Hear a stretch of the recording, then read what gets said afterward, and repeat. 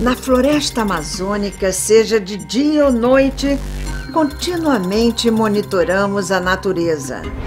Moradores da floresta. Episódio Tatus da Amazônia. Vamos conhecer um dos bichos mais curiosos da Amazônia, os tatus.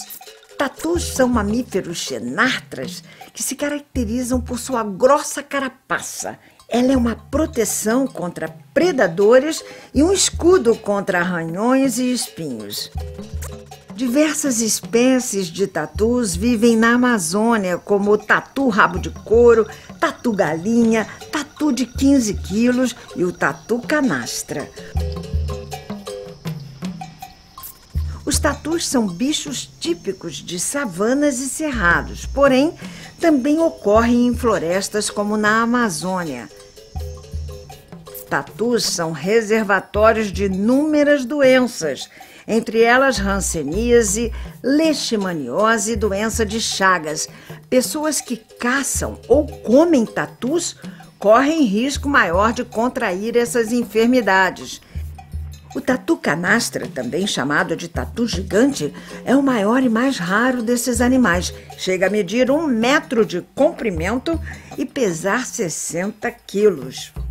O tatu canastra é raro, possui hábitos noturnos e passa boa parte do tempo sob o solo. Isso dificulta sua visualização e estudo.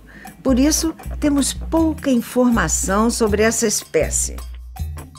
Alimentação. Os tatus alimentam-se de insetos, pequenos vertebrados e vegetais.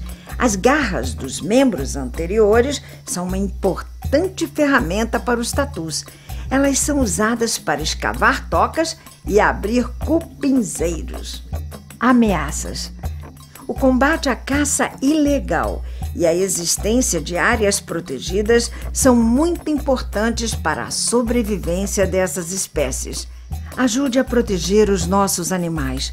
Caso presencie a caça ou comércio ilegal, denuncie as autoridades competentes.